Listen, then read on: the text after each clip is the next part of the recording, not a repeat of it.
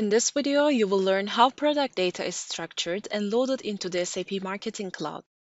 In the first part, we will focus on the product entity type and how the data can be organized in the system. The main part of this video will be the data load and managing what is communicated as a second part. Here, the section will be divided into six high-level user stories.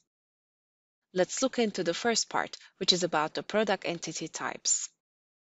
As communicated in documentation material, you should keep in mind that the products are a main entity type in SAP Marketing Cloud beside the so-called interaction contact and the interaction.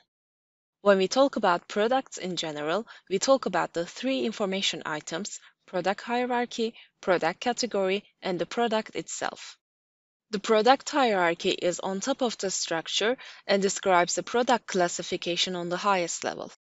The product category is the next identifier to cluster a bunch of products. Below all that, you find the single products which build a relation to categories and hierarchies which have been defined in the first step. Please note the following relationship details for a better understanding of the data model. A product can be defined as a base product or can be set in relation to one base product product can be a part of one or more product categories and or product hierarchies. One or more categories can be defined and nested. Each product category can be set in relation to a parent category. Each product and each product category can have a relation to one product hierarchy. This example describes how the structuring of a product could look like in the system. Note that in SAP Marketing Cloud, brands can be defined as separate information and don't have to be a part of this categorization structure. Also, be aware that external systems which hold product information probably have another way of data structuring. Now that we know how the three information items are related, we want to focus on the product hierarchy and product category. Both have to be processed together in one CSV file if a manual upload is intended or via an OData payload which holds both items of information. The standard fields you are able to define for categories and hierarchies are Hierarchy ID, Category ID, Parent Category ID, Language, Category Name, and Category Description. An upload into the system can be done manually via a CSV template. Payloads with one or more products can be pushed to the system via OData. You can see the standard fields for the product here on the screen. The information of your loaded products can be investigated in a visual form by using the app Products Use and Resonance. Beside the product details, you find information about the product reviews like comments and ratings, assuming appropriate systems like rating systems, shops, or communities have been already integrated to your solution. With this application overview, the first part of the video about the understanding of the product entity types end. Let's now have a look at the main part of the video, the data load and managing of products in SAP Marketing Cloud. For a high-level overview, we focus on the user stories in the second part. Load products and product categories as master data into SAP Marketing Cloud. Check if the data was correctly loaded into the system. Manage the lifecycle of a product. Integrate products from leading systems. Create associations between business objects and products or product categories and the extension of products. Let's start with the loading of products and product categories, which represents our master data. As mentioned before, we have two possibilities to bring product data into the system, via OData API or via CSV template. Focusing on OData API, we have the following relevant APIs available to push the data into SAP Marketing Cloud. It is suggested that the dedicated services API underscore MKT underscore prodcat underscore hierarchy underscore SRV and API underscore product underscore SRV will be used as preferred option for such a data load. These services can be consumed by external applications. API underscore MKT underscore prodcat underscore hierarchy underscore SRV is used to load product hierarchies and related categories. Be aware that you should load the hierarchies and categories before product assignment. By using the batch mode, the import of product hierarchies categories, and their descriptions in multiple languages is possible. In a similar way, you can work with the API underscore MKT underscore product underscore SRV, which is used for loading products, assigning brand, product category, base product definition, as well as maintaining valid to date for product. Additional IDs can be added to products. It is possible to delete all product category assignments of a product category hierarchy for a product. Import of multiple products is possible by using batch processing. Please note that the product data can be loaded from multiple source systems, including different IDs by the definition of an OData payload. To get a closer view to the data load of products, please visit the SAP API Business Hub and navigate to the SAP Marketing Cloud located under the C4HANA portfolio or navigate to the link shared below. Here, you will find a documentation about all available APIs and integration scenarios also related to services away from loading products. The primary knowledge base is the SAP Help Portal, which offers an integration guide on the SAP Marketing Cloud page. Here, you can find different scenarios documented from a business and technical viewpoint. If we open the integration guide and filter down the table of content for products, the documentation shows us some payload examples for loading product-related data. As you can see, a payload example for an OData batch request is shown. Some values may seem familiar with what you have seen earlier in this video. The payload examples you will find here can be really large, so please take your time to investigate the portal on your own. If you don't want to use the described APIs, a data import can be done by a CSV upload like mentioned earlier. This direct upload is done manually in the application called Import Data in SAP Marketing Cloud. This app also offers the possibility to download appropriate CSV templates for different kind of business objects. The templates can be directly edited in Excel or a text editor and imported in the next step. For our scenario, the two options, product categories and products, are relevant to manage the product-related data load. Depending on the data you want to process, keep the radio button on the option of your choice and click on Download CSV template or Import. For a data import, click on the Browse button first and import an edited file. The buttons are located on the bottom. Use product categories to load product hierarchies and related categories, and products to load products with or without assignment to categories and hierarchies.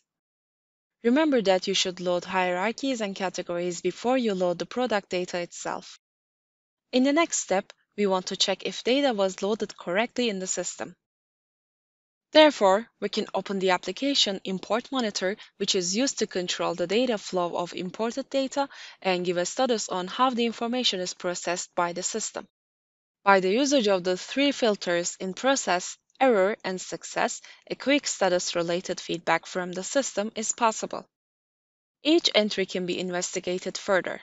It shows the related data and possible solutions in the form of a diagnostic report if problems occur. To get a fast visual feedback of your loaded data, you can also open the Products, Use and Resonance app, which we have seen before. Here, we can filter and search for imported products. Managing the life cycle of a product is an important task in terms of product maintenance. You are able to define a valid to date for each product to distinguish between expired and valid products. Valid to date is exposed in the Product Use and Resonance app in the APIs. Expired products can be excluded in SAP Marketing Cloud applications and are not available for product recommendations. The products can be dissociated from their categories in the hierarchies by the use of delete method or by the use of function import of the service API underscore MKT underscore product underscore SRV. For more details on possible data changes on the product entity, please use the mentioned SAP sources to find the relevant HTTP methods for your field value changes. Let's now have a look at the integration part of product data, which is replicated from leading external SAP or non-SAP systems to the SAP Marketing Cloud. The slide which is shown here represents a high-level architecture, how a system integration with reference to our product integration scenario can look like. SAP and non-SAP solutions can be integrated by the usage of SAP Cloud Platform, which comes with additional services and adapters for data management on individual needs. It is possible to inbound SOA services, IDOCs, OData, and other data formats via Cloud Platform integration. The inbound for the SAP Marketing Cloud you can see on the right-hand side is based on the OData APIs which have been already communicated in this video. Products and product hierarchies can also be loaded from SAP Commerce Cloud via Product Catalog system and the help of a standard adapter. The integration scenario is similar to others with the difference that a middleware solution for master data management is needed for integrating SAP Commerce or SAP Commerce Cloud. This middleware is a Java-based application called Data Hub. A good entry point for integration topics is the SAP API Business Hub, which was already mentioned in the context of product data load. Here, you will find different integration scenarios from SAP and partners which help the user to understand how the integration flow can be modeled to your needs. By the help of an interactive process model, you can get an overview of the integration flow which is essential to you. To get closer look on details, it is possible to navigate to each single element in the chart by selection. Again, you can use the SAP Help portal and look through the integration guide for documented information on integration scenarios. As you can see, there are several options to import product, categories, and their hierarchies related data from different solutions like SAP Commerce Cloud, Enterprise Resource Planning, commonly known as ERP system, Customer Relationship Management System, known as CRM system, and Sales system, known as SAP Cloud for Customer.